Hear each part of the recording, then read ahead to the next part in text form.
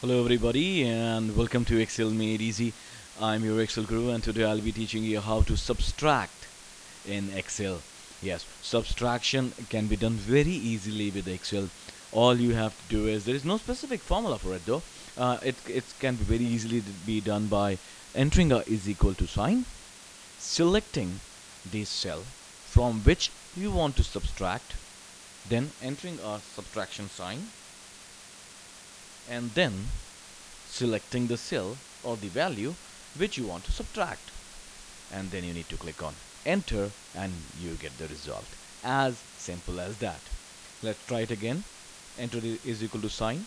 Select the value from which you want to deduct. Enter a minus sign.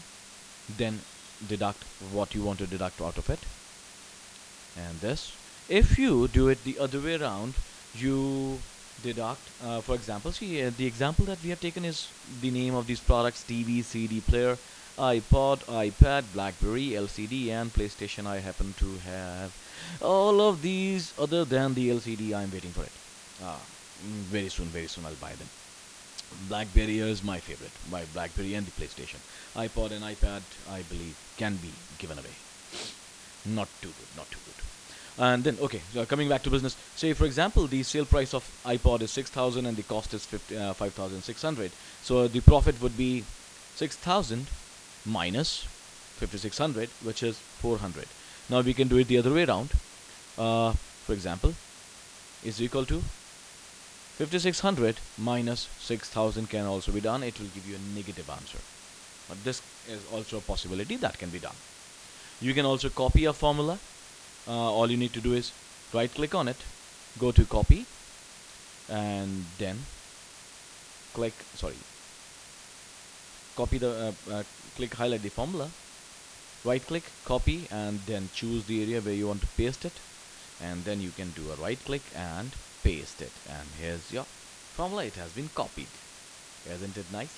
Uh, there is one thing also uh, a, lit a permutation that you can do. Say uh, see this the sum of this range and the sum of this range they can also be deducted. Um, Excel can do that for you. Say for example is equal to sum. You select this complete range bracket close minus. That's what you want to do. Again sum and minus. This is the answer. It can be done like this also. How to verify our result is equal to we can verify by adding this up. The total of this should be this. See both are same. So this is how mm, subtraction can be used. Well the, uh, the training file that you're looking at in this video this excel file is available for free download on my website excelmadeeasy.weebly.com it's here and you can go over here and click on the training files page and download the training uh, the excel file for free. And this is my website. You can visit it. It has videos. It has my uh, my social media links and some very good topics on uh, these are the, my details of my complete videos and has very good theory on all the formulas. Very very good theory. You can go through them and yes if you believe what I'm doing is right and if you like my work then I would like you to uh, follow me on Twitter. Click on my website uh, uh, go to my website and click on follow me on Twitter and you'll be able to come to this page. You can follow me on Twitter and retweet my work so that people can know about it. We can spread knowledge. You can also if on my uh, face my website you can choose to like me on Facebook by clicking over here. It will take you to my Facebook page. All you can do is just click on like and then share my work. Also my work is available on YouTube where you're looking at it right now watching it right now.